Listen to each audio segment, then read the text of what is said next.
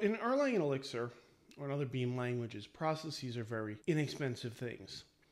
They don't take a lot of memory, they don't take a lot of resources, and they're expected to die or to exit. You've heard, may have heard the slogan, let it crash, from the Erlang and Elixir world. And that's true. What you can do is you can allow an Erlang process to crash if something goes wrong and let something else handle it. So, first of all, we should say that there's sort of three main ways a process can exit.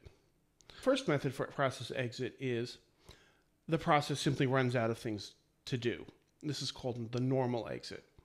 So if you tell it, I don't know, run a process of, you know, if you if your process is simply, you know, spawn timer sleep with parameter of a thousand, it'll sleep for a thousand seconds and then it'll not have anything else to do, so it'll just exit. It can also crash, where I don't know, you divide by zero, or you know, there's a bad match or pattern matching error, things like that. Maybe you open a file that isn't there, boom, process crashes. And finally, you can kill a process. Killing a process is use the uh, kill process exit thing where basically something external to the process kills it. That one we're not going to worry about too much because generally if something's killing it, chances are it's not something you're going to be worried about. The fourth option actually is I should mention is also that the piece of hardware it's running on could go away. So if your server dies, it catches on fire or somebody unplugs it or something, mm-hmm. then you know all the processes go on it will simply go away and be done. So how do you deal with this? Well, the Beam provides two main mechanisms. You have link and you have monitor.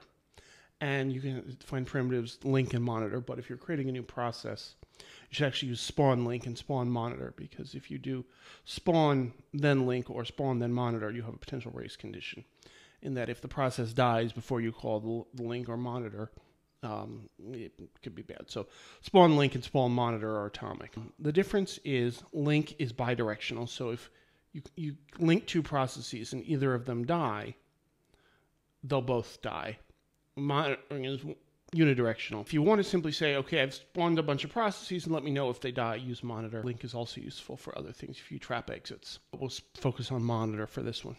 If you if you monitor a process, what happens is if it exits or when it exits, you get a message just like any other message, and it looks like this: atom down, uh, the PID, and then the reason it died. So if it exited normally, the reason will be the atom normal.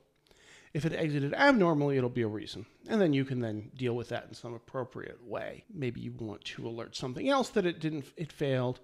Uh, maybe you want to restart the process. You can do anything you want. This is basically how a supervisor works internally, more or less, with some external stuff too.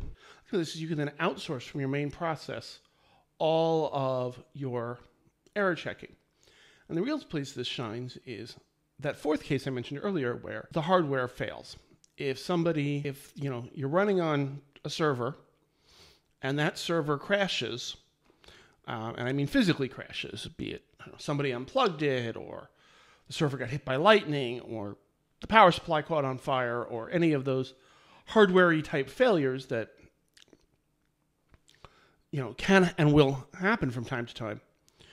This lets you deal with that. You can have the best type system in the world that prevent all software bugs but it can't prevent somebody unplugging the server or you know the server power supply filling up with dust and catching on fire or whatever other kind of hardware failures you can imagine. That's why we we use monitors in Erlang and Elixir. They allow us to check for that kind of error where the process has died because of something that's totally external to the process, which could include hardware failure. I hope that was useful. If if it was, please subscribe and thumbs up this video. You can also uh, follow me on Twitter at Zeke Thanks very much, and happy uh, happy Elixir, happy coding.